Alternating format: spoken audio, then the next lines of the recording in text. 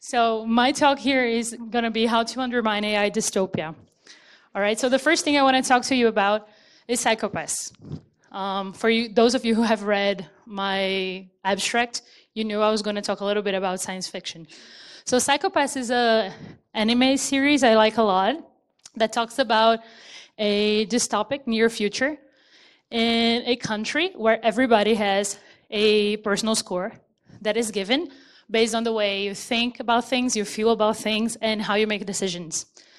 So this number is called the crime coefficient, and it varies from zero to 500.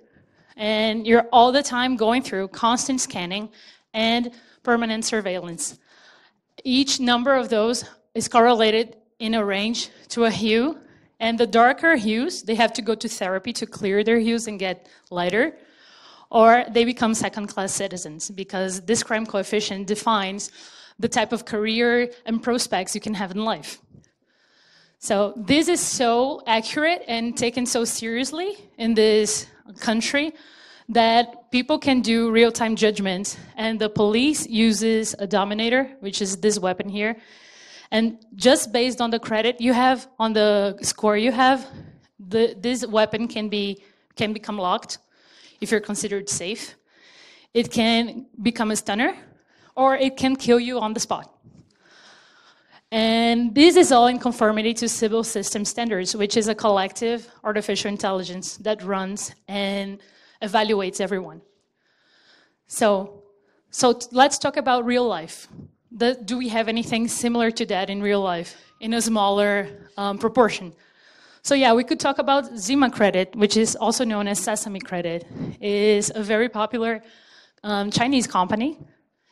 And what they do is they also attribute um, three-digit scores to everyone, and the government in China wants to do wants to get everyone enrolled up to 2020, so everyone will have a page in this system.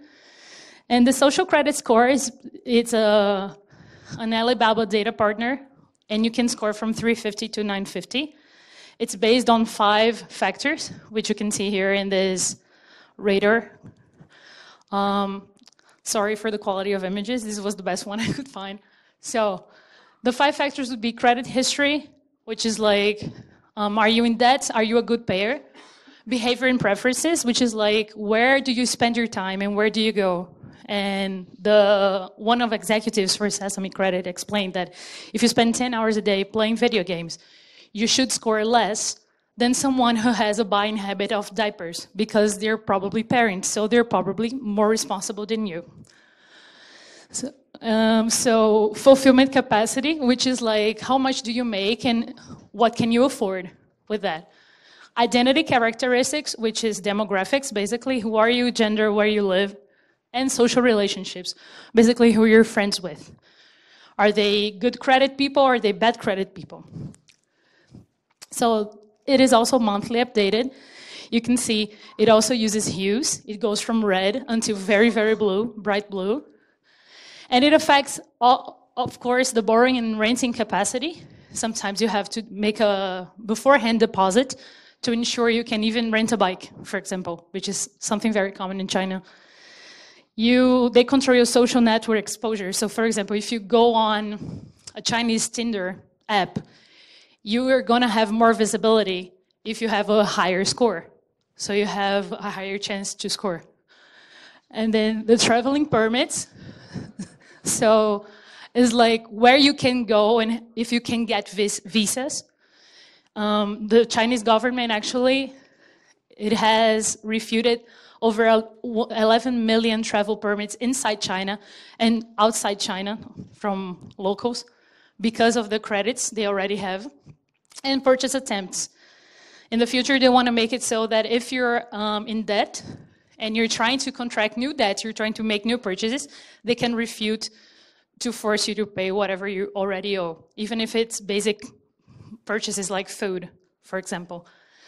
And low scorers can enter downward score spirals because, for example, if I have a friend and they have a low score, I might drop them as a friend in my social networks because I don't want to contaminate my own score. So it's just incentives, basic incentives. So people that are that get there, they can get trapped there and start spiraling down. But there's one good thing that this system has brought is that tens of millions of Chinese now have access to financial services. China is something amazing because in 2011, um, almost every transaction in the country was made with cash. They had very few credit cards, and if you wanted to change banks, you had to go through a very thorough assessment of your credit. And now, because of the system, they are able to let you do a lot of things and actually give you fast tracks in life if you have good social credit. The bad thing is that the precise inputs of the model are unknown. We have the factors, but we don't know exactly how they play out. We don't know the model, it's proprietary. So now we're entering in an era that we have to be aware of their meanings. Um, meanings of things such as good and evil, which is something very popular. Google itself, as a Google expert, I think I have the right to say, likes to put that out a lot, and we sometimes don't know what that means actually. And one good example for transparency, I'll talk a little bit later, but we also have to be aware now of what transparency and privacy and content means in this new era of machine learning and AI. For example, transparency, we have a system which is a criminal risk assessment when you are detained by the police in the United States, you have to answer 137 questions wherever this um, system is accepted. And it measures the likelihood of you to reoffend in crime. And then it changes how much time you would spend in jail based on that. And the company that produces it, Equivant, used it, um, explained that it was very transparent and used it as a sell point because the parameters were known, they said, since you were filling in the document yourself. And because of that, it was used as input for court sentences in the US. However, the truth is, even though you've answered 137 questions, you don't know how those things got factored in and the different weights they have and the different parameters that really matter to the model. This was undisclosed as well because it was also proprietary. So, in a very high profile case of Loomis versus Wisconsin, this guy, he was, um, he committed a crime. He was guilty of committing a crime, and he was going to be arrested for two years. But the system said that he should be arrested for six years because he was likely to reoffend. And just like him, there were several others. And he tried to argue that he had no right to due process. He couldn't defend himself because he didn't know why he was considered a high risk offender. But the judge kept a uh, steady um, decision, and he was in jail since 2013. He'll probably leave jail next year. So there, there are very complex racial biases investigations by ProPublica, which is a Pulitzer winning association. And it's not for sure that this happens, but the system uses as input models some variables that are correlated to crime, but they're also very highly co correlated to um, people of color lifestyles or demographics. And this spurred algorithmic reg regulation in New York. It wasn't signed by the mayor, after all, but they're changing the bills to take that into consideration, try to prohibit systems like that, black box systems, to um, function. But I'm talking about very like complicated things here. I'm talking about China. I'm talking about criminal people. I guess nobody here got arrested or is planned is planning on getting arrested. So we can talk about something simpler, which is like GPS. For example, we have here in Brazil some companies that, as a privacy sell point, they use your GPS data and they say that they're not collecting PII, and since they're very respectful of your privacy. PII, which is personally identifiable information, um, is something like your name, your um, address, credit card statements, um, social security numbers, CPF, things like that. And GPS data is not regarded as PII. But actually, it is possible to determine home and work address, the routes you take, and your geo behavior as a whole. Um, even if you don't tell them that. So, would you consider that a PII or not? Because effectively, if you know where the person lives, where, where he or she works and the route she takes, you can pretty accurately reverse it back to her and identify who she or he is. And even something very silly can review private data, which, um, like the number of apps you have on your phone, or which apps you have. This is a model by a company in Brazil where they have the they don't know who you are, but they know which apps you have and the number of apps you have on your phone. And the model is made to, to try and predict gender. If you have more than 100 apps on your cell phone, there's an 87% chance you're a man. If you have quotes for rainy days, or quotes for crying, or quotes for my boyfriend, you have a 75% chance of being a woman. However, if you have quotes for rainy days and quotes for crying and quotes for my boyfriend, you have a 91% chance of being a man. And imagine what you can do with that information. It's information that here maybe it doesn't make, um, we, we, we don't make a lot of difference with that, but in some countries, that could be very complicated. That could be used to target you some way. So the moral here, this is from a book I like a lot, Data Mining.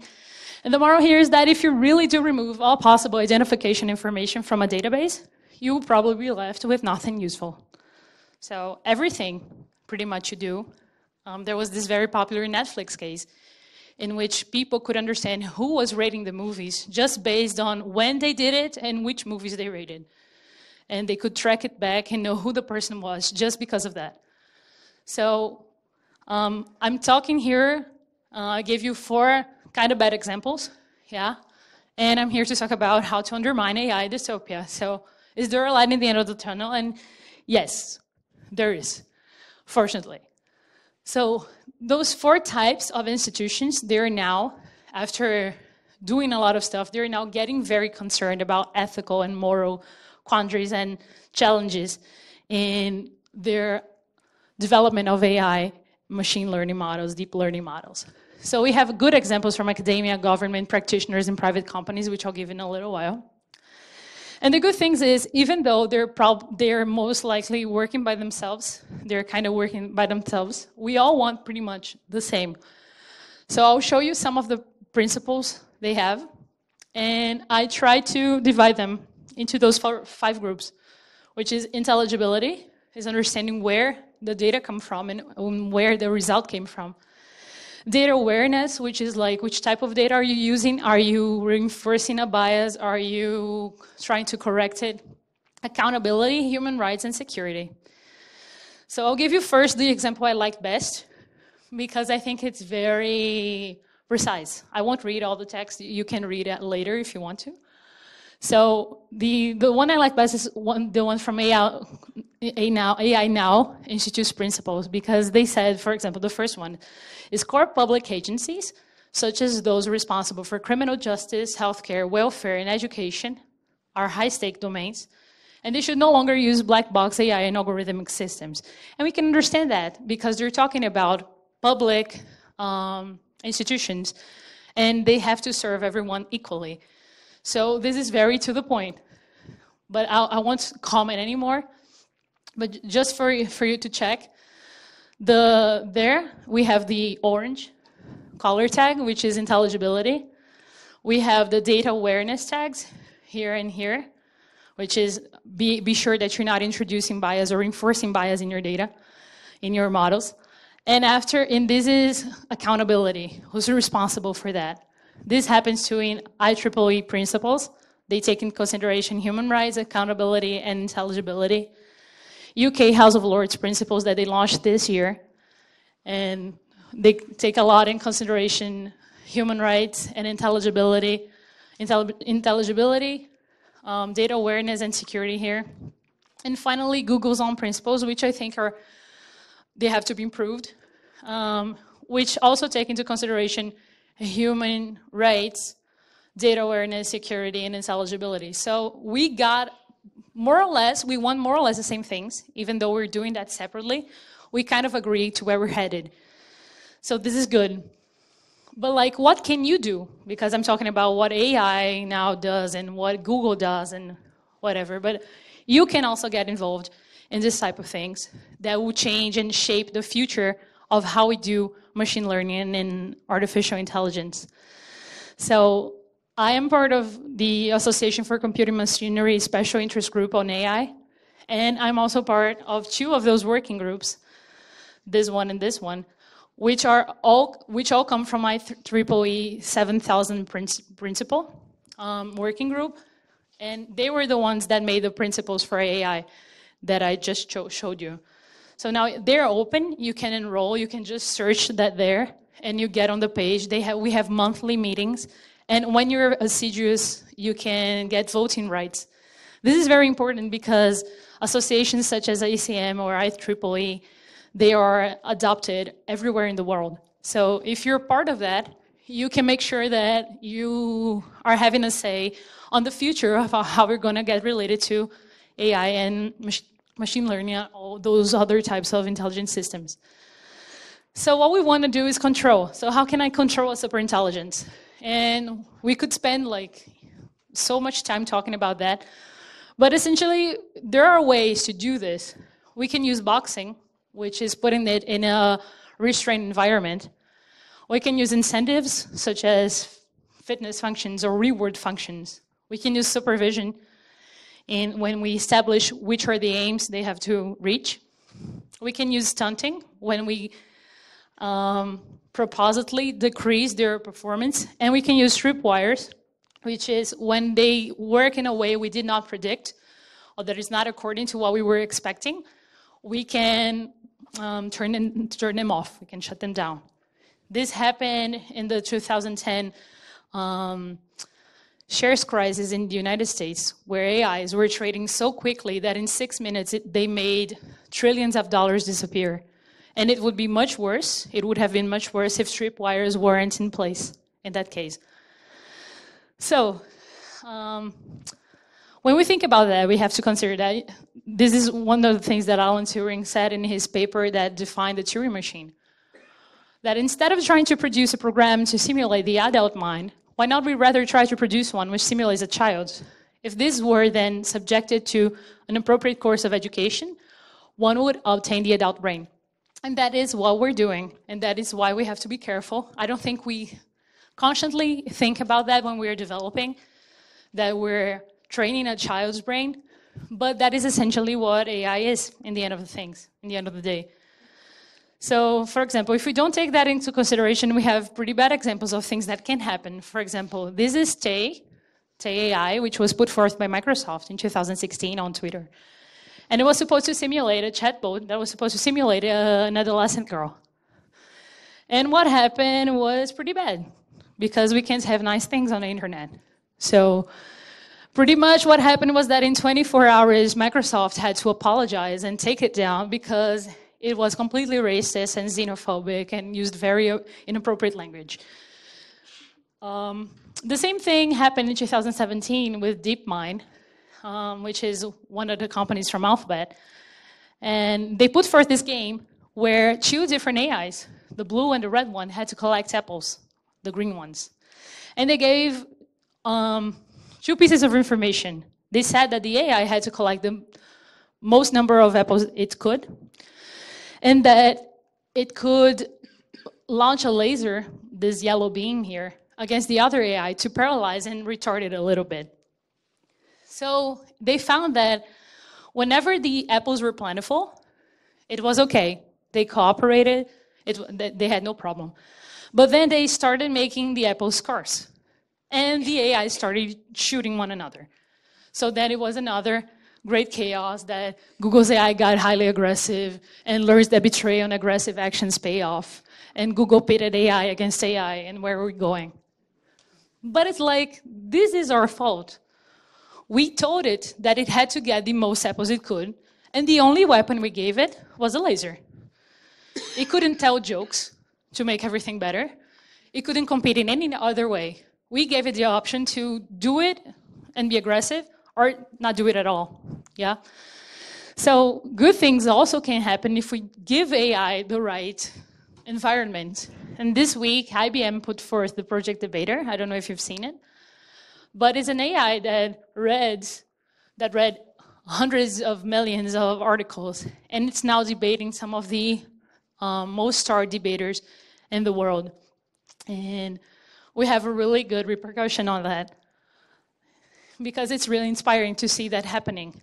But I find it interesting that these are not tabloids, these are all very high profile tech magazines and online pages. We, we always make like a point of saying this. The AI pro- this AI program could be trained an argument, but it doesn't know what it's saying. I think it's funny because we always make a point of making it clear that it doesn't know what it's saying when it's something positive. But when it's something negative, we never say that. We never remind ourselves that it doesn't know what it's saying. And doing that makes us very omissive because it's like this is not this is not our fault. This is the fault of Twitter, or this is the fault of someone else, or this is the fault of of the own AI. When we didn't make uh, an appropriate environment to set it in. So another quote, and this is a big one. So we should resist the temptation to roll every normatively desirable attribute into one giant amorphous concept of mental functioning, as though one could never find one admirable trait without all the others being equally present. And the opposite also happens. We are in a point where everything that we do is very polarized. It's either awesome and 100% good or awful and 100% bad. And this is not how life works. Thinking about it that way is a bit selfish and a bit childish. So we have to recognize that there can exist instrumentally powerful information processing systems or intelligence systems that are neither inherently good nor reliably wise. But we can make it happen. We can make it kind of good and kind of wise at least, if we try. So I don't know if you've seen that movie.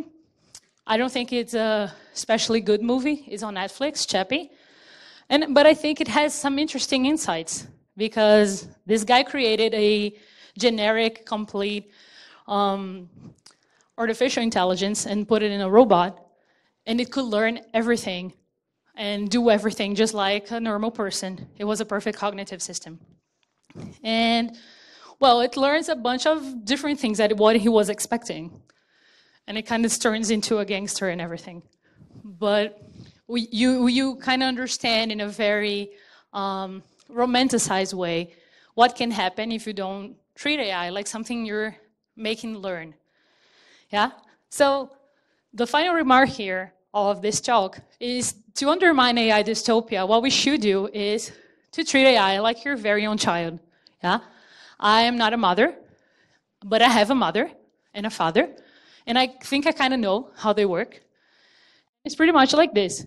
So the first thing is like, don't let it run loose. When you have a, a kid, you don't let it go and do whatever it pleases you're kind of like always around, you're kind of checking up on them and seeing what they're doing. You have to know who they're talking to, like checking who their friends are. So it's like, well, my kid is talking on Twitter with some really random people, which are very racist and xenophobic. I don't think I want my kid there. You should provide high quality reading material. You should establish rules and learn to say no. And this is very, this is metaphorical, but it's also very mm, real because we, we are the ones that establish rules in a variety of supervised systems, which are uh, very, very common in enterprises and everything. And sometimes there are things that we thought we think it's cool to make, and we think it's cool if we could get it done. But there are potential risks um, attached to it, and we have to learn to say no. We have to learn to let it go at some point we have to attend parents meetings which are always very a bummer like but parents meetings in that way would be like those working groups you can take part in and try to help standardize and shape the future of ai discuss those types of things because we tend to always discuss models and new technologies and new libraries and new packages. And we forget to discuss those other things of what we can do and what we should do to train AIs and educate AIs, especially for aiming for something more generic. And finally, we imagine ways it could get hurt or hurt others. Like if you have a kid, I had a sister and a younger brother as well. And my parents were always very afraid when they sent them to school because they would always think like, oh my gosh, is he gonna get bitten or is he gonna be the biter? And you always teach your kid to like share your toys and don't beat anyone up unless anyone beats you up. And that's pretty much what we should do with our AIs. And finally, we can see it grow and thrive and be proud of it and the work we've done. Okay, so that's it. Thank you all. Any questions?